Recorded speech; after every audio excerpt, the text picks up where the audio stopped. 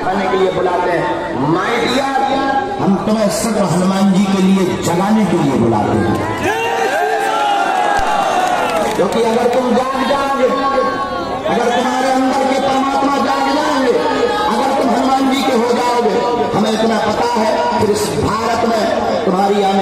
पीढ़ी दर पीढ़ी तुम्हारी परंपरा के लोग, तुम्हारे बच्चे, तुम्हारी संतति, तुम्हारे नाती पोते और तुमसे जुड़े हुए लोगों को तुम दर दर दरबारों में नहीं भटकना पड़ेगा। तुम्हारे अंदर का परमात्मा, तुम्हारे अंदर का हनुमान जाग जाएगा तो तुम जहाँ भी रहोगे वही हनुमान दिखाई देगा। तुम जहाँ जियोगे, वही भाग्य से धाम दिखाई देगा। लेकिन ये बात कहने में बहुत सरल है, सुनने में बहुत मज़ेदार है, चलने में बहुत कठिन है। ठीक ऐसी है। चाय का लक्षण बता करके चाय को बनाना जितना कठिन है, पर पीना उतना ही मज़ेदार होता है। लेकिन एक बार अगर तुम्हें हमारी बात चोट कर जाएगी तो हम इतना जानते हैं जैसे हमारी ज़िंदगी में भूचाल आया, जैसे हमारी ज़िंदगी में भी तूफ़ान आया, जैसे हमारी ज़िंदगी में भी चार चाँद लगे। हम तुमसे कह सकते हैं कि तुम्हारी ज़िंदगी में भी हम लगवा सकते हैं और एक बात ये तो तुम अपने दिमाग से निकाल ही देना कि हमें तुमसे कोई अपेक्षा है। हमें तुमसे सिर्फ़ एक अपेक्षा है कि तुम हनुमान जी के हो जाओ। हमें तुमसे सिर्फ़ एक अपेक्षा है कि तुम दर दर भटकना बंद कर दो।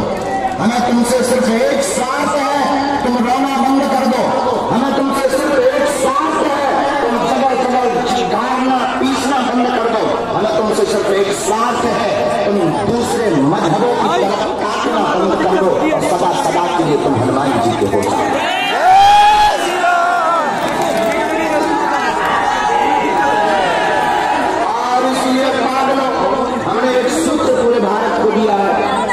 लोग हमसे पूछते कि आप भारत को देना क्या चाहते हमने कहा माई डियर ठटली के बड़े।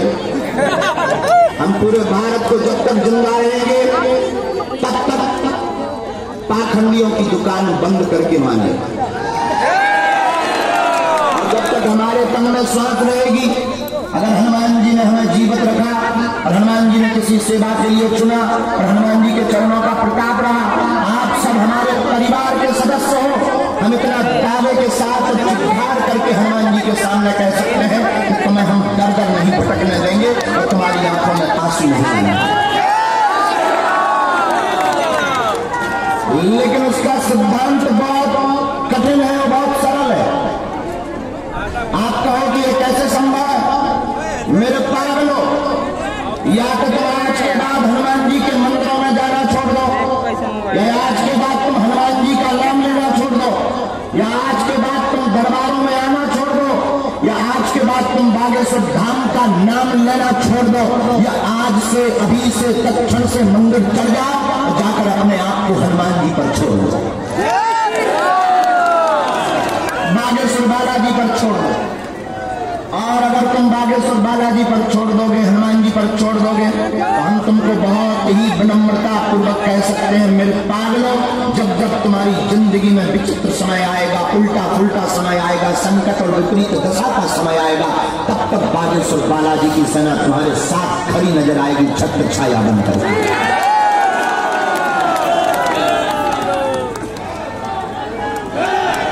रेगिस्तान में जब धूप बहुत होती है जब कोई काम करना होता है निकलने में भी बड़ी दिक्कत हो। ज़मीन तक रही हो ऊपर से सिर माथा भी तक रहा हो तब बुद्धिमान लोग छाता लेकर निकल आते हैं। जो बुद्धिमान होते हैं, वो छाता लेकर के निकल कर अपना काम कर लेते हैं। उसी प्रकार इस भाव सागर रूपी भूमि पर, इस धरती पर तुम्हारी ज़िंदगी में जब बहुत ज़्यादा संकट घेरने लगे, शत्रु घेरने लगे, विपत्तियाँ तुमको बहुत ज़्यादा घेरने